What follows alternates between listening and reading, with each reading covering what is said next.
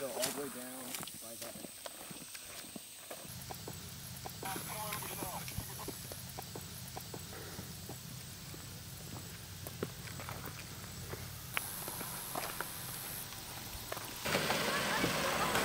Get out of the car. Get out of the car. Passengers. Are you kidding me? oh my gosh. Where do I How go? many fingers? Um, two? Am I gonna miss um, Harry Potter?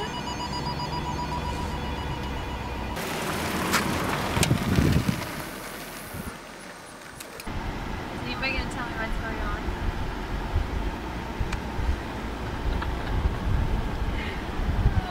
Again, watch your head.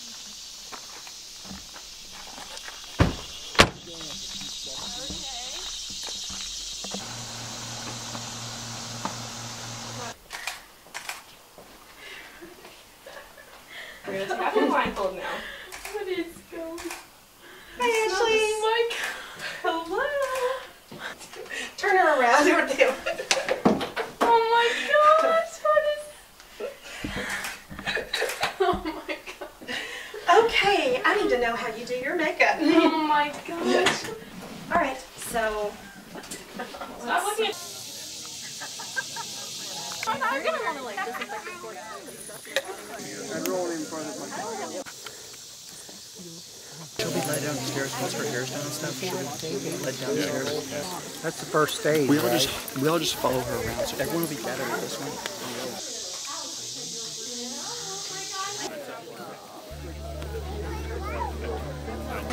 She should have opened that door for you.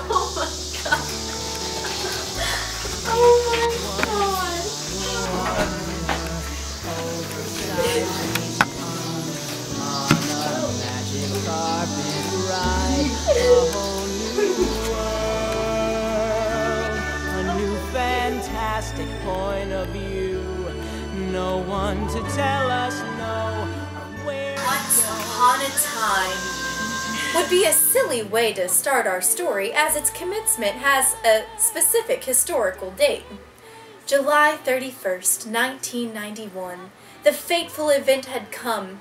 The moment the Bess and Stroder families had been waiting for for months had finally come to pass. The U.S. Senate finally voted to allow women to fly combat aircraft. It was a relief to both of the families, who were very progressive in their views. Also, a princess was born. After 28 hours of grievous labor for the queen, the precious gift finally deemed the world fit to receive her. The princess was taken home and quickly became a ruler not only of her kingdom, but of the hearts of her friends and family. The princess only had to flash her dimples, and the beholder of this sight would experience a feeling in his chest not unlike a marshmallow dropped into hot chocolate.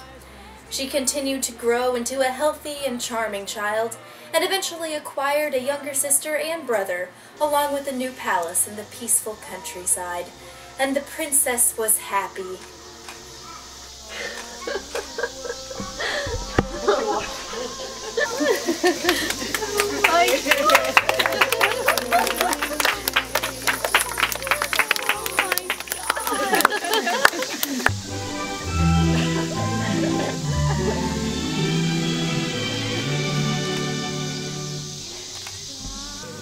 Came when the princess entered into middle school.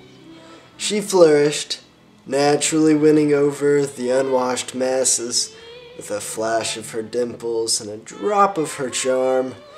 The only thorn in her otherwise blissful existence was an evil, red-headed, sixth grade figurative dragon. The dragon picked on her mercilessly, chipping away at her fragile pubescent self esteem and happiness. The princess would return to her castle at the school day's end and pour her heart out to her mother, the queen, probably saying something along the lines of, Oh, mother, that mean dragon is so very cruel to me. What could he possibly mean by such treatment towards a delightful and enthralling person like myself. I simply cannot understand. But probably less eloquent. To make the matter worse, his disdain was rendered even more hurtful, since the princess actually harbored secret feelings of affection for the gangly ginger. Now, the queen suspected that motives softer than evil propelled the dragon's cruel actions, but simply advised her daughter to ignore the boy's teasing.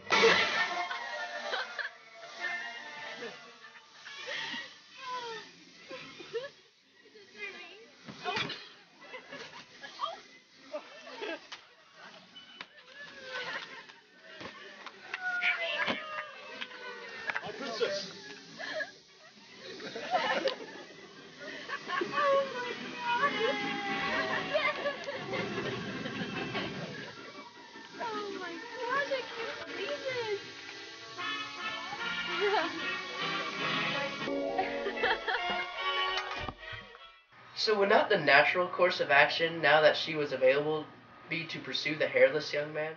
Preposterous! A beautiful princess never dirties her hand in the pursuit of a suitor, especially when others are lined out the door for a chance with her.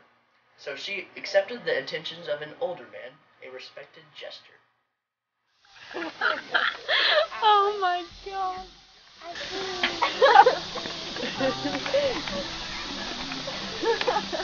Lost in the tower. You know what? Where are my manners? Rapunzel, Rapunzel, let down your hair.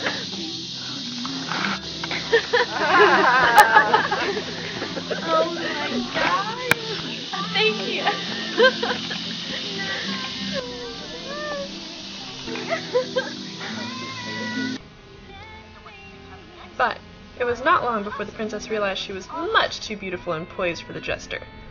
It ended. And what do you think happened next? Why, the not so mean dragon mustered all the gumption in his bald body and asked the beautiful princess out on a date. They dined at the classiest of establishments, El Torero's, and had a lovely fiesta. And so, this was the beginning of a beautiful relationship, was it not? Oh, not so! The ginger's feet turned to lead and began to drag, and our protagonist, who really couldn't be expected to wait for, well, anyone, began a new relationship with another knight.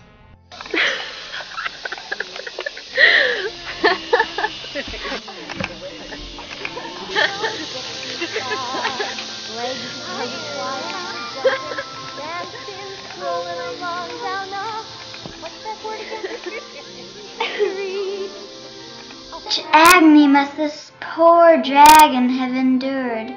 The dimpled princess, who had indeed captivated him in middle school, kept slipping through his fingers.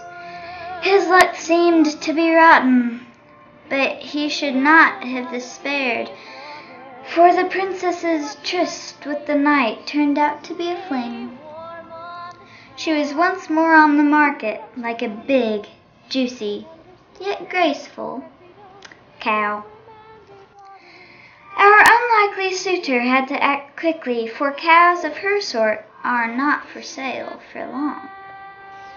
Catching his lady love between knights, jesters, and the occasional troubadour turned out to be quite the challenge, but one he decided he was up for.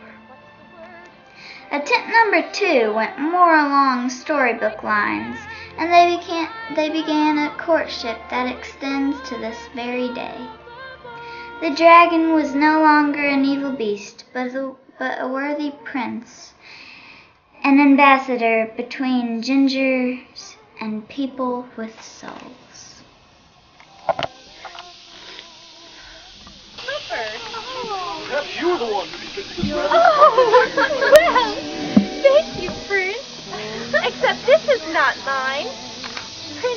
believe this belongs to you.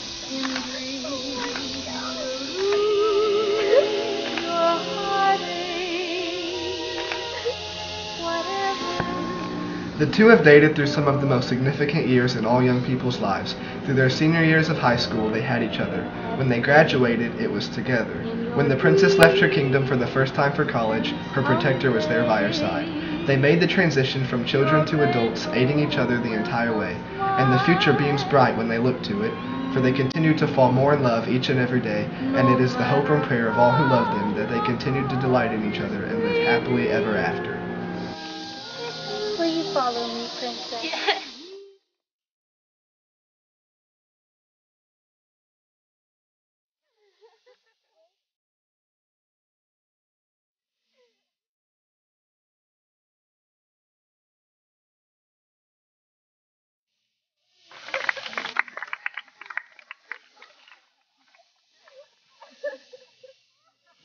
Oh my god.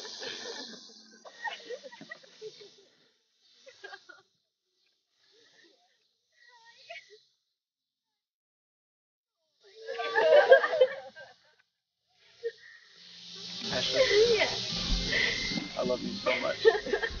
You're my best friend.